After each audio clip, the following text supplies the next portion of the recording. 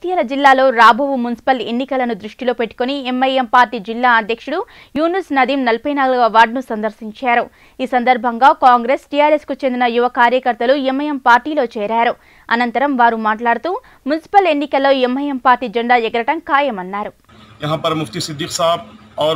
मौलाना आतिफ साहब असदी दामद बरकत हूँ और हुफाज मुदसर मुजक्र साहब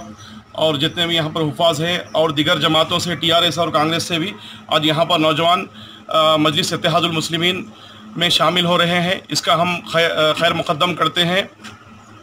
आज जो हमारे जो मरकज़ी कायदीन है, बैरिस्टर असदुद्दीन अवैसी साहब और हबीब मिलत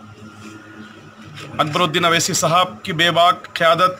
से मुतासर होकर आज ना सिर्फ़ जगतियाल, बल्कि पूरे हिंदुस्तान के अंदर आज मुसलमान मजलिस की तरफ़ रागिब हो रहे हैं। चाहे ऐवान असम्बली में होने दो, चाहे ऐवान पार्लियामेंट में जो हमारे मसाइल हैं, उस पर बेबाकाना क़्यादत जो हमारी काम कर रही है बल्दिया के अंदर, और इसको भरपूर जद्दोजहद करते हुए जो भी मसाइल है, उसके लिए भरपूर कोशिश करेंगे। हम तमाम